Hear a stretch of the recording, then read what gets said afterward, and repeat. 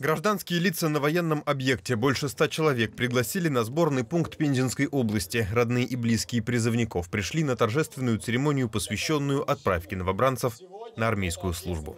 Дорогие наши мальчишки, мы вам желаем достойно отслужить, вернуться к нам. Мы вас любим, ценим, уважаем.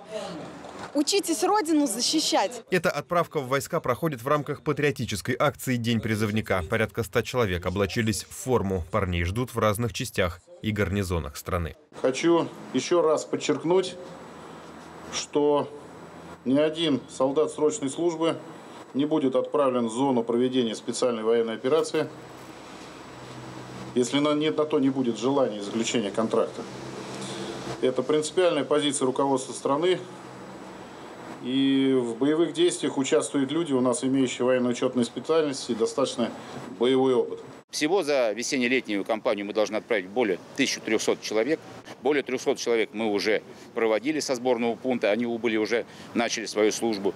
Также в э, связи с изменением э, нашего приказа Министерства обороны о воинской обязанности в эту вот призывную кампанию у нас выходят э, молодые люди, кому исполнилось 27 лет и более, которые не получили еще военный билет. И таких у нас уже призвано и отправлено более 10 человек. Это главное изменение в том, что призывной возраст с 27 лет вырос до 30 лет. А вот срок службы по призыву остался прежним – один год. Иду в войска военно-космических сил я пришел в военкомат, сказал, что хочу военно-космические силы. Ну, у меня все родственники ходили в армию. Это уже как военная традиция, я так считаю.